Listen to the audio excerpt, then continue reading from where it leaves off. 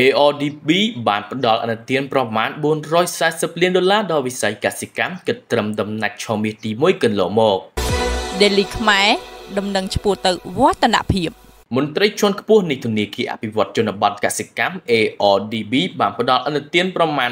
440លានដុល្លារគិតត្រឹមដំណាច់ឆមាសទី1កណ្ដុំមកនេះលើវិស័យកសិកម្មដើម្បីផ្ដល់លទ្ធភាពបន្ថែមដល់អ្នកផលិតនិងប្រជាកសិករដើម្បីបង្កើនផលិតកម្មនិងជំរុញការនាំចេញលោកកៅថាចអគ្គនាយក ARDB បានថ្លែងប្រាប់កម្ពុជាថ្មីដោយមើលឃើញពីតម្រូវការផ្នែកហិរញ្ញវត្ថុលើវិស័យកសិកម្មរដ្ឋាភិបាលតាមរយៈក្រសួងសេដ្ឋកិច្ចនិងហិរញ្ញវត្ថុបានផ្ដល់នូវកញ្ចប់ហិរញ្ញប្បទានជាបន្តបន្ទាប់ដល់ធនាគារអភិវឌ្ឍជនបទនិងកសិកម្មក្នុងការផ្ដល់អនុទានទៅលើវិស័យនេះសម្ដៅជួយជំរុញផលិតកម្មនិងការនាំចេញកសិផលទៅកាន់ទីផ្សារអន្តរជាតិឲ្យកាន់តែច្រើនលោកបានថ្លែងថាគិតមកដល់ដំណាច់ឆមេទី1ឆ្នាំ2024នេះយើងបានផ្ដល់អនុទានប្រមាណជាង440លានដុល្លារទៅលើវិស័យកសិកម្មទាំងមូលដែលក្នុងនោះរួមមានការដាំដុះការចិញ្ចឹមការកែច្នៃជាដើមយើងដឹងហើយថារដ្ឋាភិបាលតាមរយៈធនាគារអភិវឌ្ឍជនបទនិងកសិកម្មតែងតែយកចិត្តទុកដាក់ក្នុងការផ្ដល់លទ្ធភាពផ្នែកអនុទានដើម្បីជំរុញការដាំដុះការចិញ្ចឹមសត្វជាពិសេសដើម្បីលើកកម្ពស់ផលិតភាពក្នុងវិស័យនេះឲ្យមានការនាំចេញកាន់តែច្រើនឡើង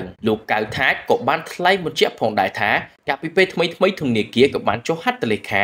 លើអនុសារណៈ យោគយល់គ្នាជាមួយសាជីវកម្មធានាអន្តទានដោយសារតែអ្នកផលិតខ្លះពុំមានទ្រព្យគ្រប់គ្រាន់ដើម្បីដាក់បញ្ចាំក្នុងការទទួលបានអន្តទានក្នុងឆមាសមួយឆ្នាំ2024ការនាំចេញកសិផលរបស់កម្ពុជាសម្រេចបានជាង6លានតោនកើនឡើងជិត60%ធៀបនឹងឆមាសទី1ក្នុងឆ្នាំ2023ដែលជាកំណើនមិនធ្លាប់មានក្នុងរយៈពេល5ឆ្នាំចុងក្រោយកសិផលប្រមាណ6លានតោនបាននាំចេញទៅកាន់ទីផ្សារគោលដៅចំនួន77ប្រទេសទូទាំងពិភពលោក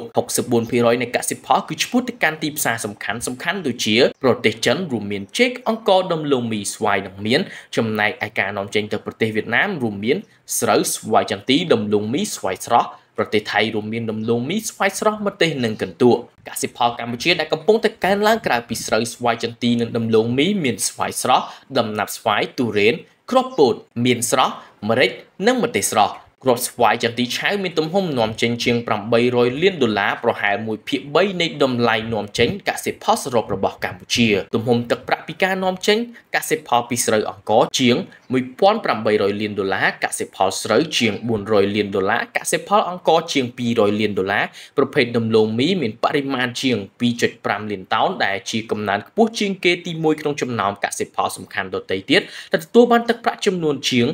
450លានដុល្លារអាមេរិក